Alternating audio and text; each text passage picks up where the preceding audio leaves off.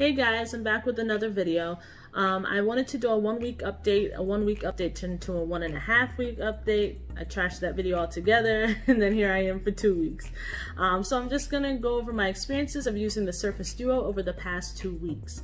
Um, the first thing I want to talk about is the screen. Coming from Samsung's beautiful AMOLED displays, I don't feel like I'm missing out on anything. These screens are very beautiful and bright.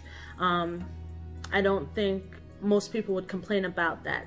Um, as far as the bezels are concerned, while I kind of wish they weren't there, I kind of am glad. There's a lot of times where I'm like, wow, if I didn't have the bezels, I can, you know, hold it like this or do that. So I feel like they should thin them out, but not, you know, completely. Like maybe just half.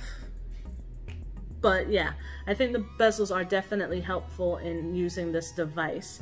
Um, battery life, battery life is fine. I usually get through the day. It depends on how much I use the device during the day. Like for instance, yesterday, by the time six o'clock came around, I still had 72% versus today. I was using my phone pretty heavy this morning, I guess, and by the time lunchtime hit, I was down to 42%. So it just depends on your usage of the device. The keyboard, I love typing on this thing in the different postures.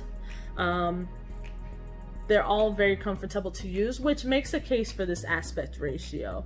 Because um, you have other devices like the LG Velvet and the LG V60, which I think are great devices, but because their screens are more, you know, the conventional phone uh, aspect ratio, they're uh, thinner but taller. So I really like this screen size and this aspect ratio.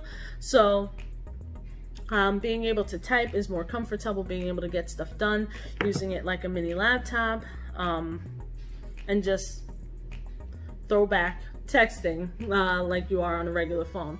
All of these um, different postures are very comfortable to use the device in. I have no problem with the keyboard. I love the fact that it is highly customizable, the different themes that you get to choose from. You can even uh, change the long press duration and things like that. There's so much. If you are a person that likes having the number row at the top of the keyboard like myself, you can have it. If you don't, it doesn't have to be there. So I really enjoy the keyboard. A lot of people are complaining about the haptic feedback. Um, normally when I get a device, when I get a phone, the first thing to go is the haptic feedback on the keyboard. But this one, I don't mind it and I've kept it on the device. I have no issues with it. I'm not quite sure why, what makes the difference um, of using haptic feedback on this versus the previous phones I've had, but I do enjoy it. Um, so with the camera, I did install a app called Airbrush to kind of help my photos be more Samsung-esque in um, some in, in some instances. Now, I know not everybody cares about the camera, but if you are a person who likes to take selfies, um, and the camera may or may not be a sore point for you, looking into an uh, extra camera app isn't a bad idea. Um, especially if that's one of the biggest things holding you back from this device. So I have enjoyed my pictures uh, from using the uh, extra app that I downloaded. I believe it was called Airbrush. So I have Samsung devices. I have the Galaxy Buds and I have my watch. Uh, they both connect to this device fine. Uh, the watch occasionally, when I walk away too far and then walk back to my phone, sometimes it has an issue reconnecting. If it does, I usually go into settings and find the Samsung plugin and force close or force stop. Um, force stop the app and then usually it resets and it does what it's supposed to do and connects fine. The speaker, um, when I was watching Jay Williams' video, he said that he thinks it would be better if there were two speakers. And he's probably right. Because um, the speaker isn't that bad. When you're watching people, when you're watching videos or just listening to people talk, it's not bad. Now, if you want to listen to music, I think it's best to use headphones, but most people would do that anyway, reach for their headphones when they want to listen to music. Um, but the speaker's not that bad. Um, there have been many cases where I've had the phone open in full screen mode and have it because of the bumper case it being so grippy and then the phone being so light it's really easy to like um, balance balance the phone on anything um, so minus the gap it's a, it's a really good um, uh, watching experience um, so yeah the speaker isn't bad again, if you're gonna listen to music, just get your headphones. That's the uh, biggest thing with that. Uh, the apps that have been optimized for this device are great. Uh, for instance, Microsoft News, I really like the way they uh, customize that app to work uh, with the device.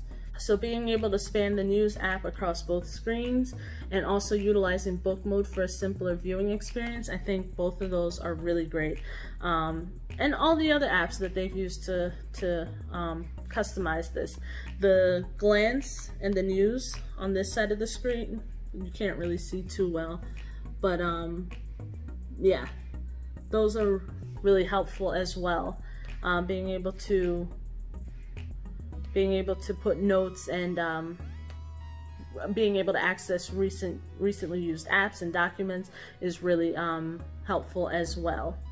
So one trick that I learned, if you ever need to reset your device, if it's ever unresponsive for some reason, you just long press the power button. That's just for anybody if they haven't figured that out yet or haven't had that issue yet. That's how you would do it because I know it's usually it's different on other phones. For instance, on my Note, if I wanted to reset my device, I'd hold down both buttons for the volume rocker and the power button for it to reset. So for the Samsung For the Surface Duo, you just long press the power button until it resets and you're fine.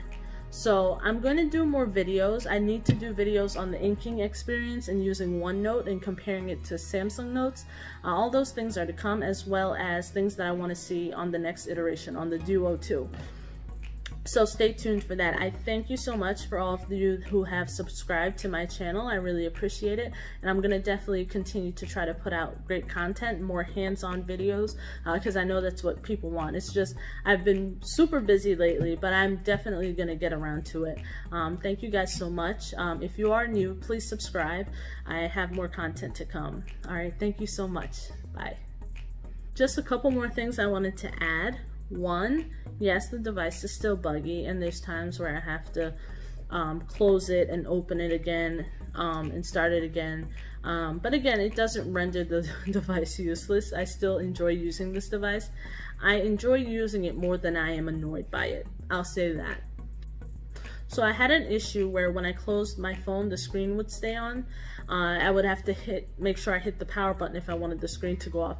For uh, that problem resolved on its own. Someone had given me a suggestion on how to uh, on how to stop that from happening and I really appreciate it but I'm really glad that it just resolved itself on its own. So now when I close it the screen turns off and I don't have to push the power button. So I'm really happy about that. And also just one thing I wanted to throw in um, the other day I was watching TV on one screen and then I was on YouTube reading you guys' comments on the other screen and I was like this device is awesome. This is what it's for.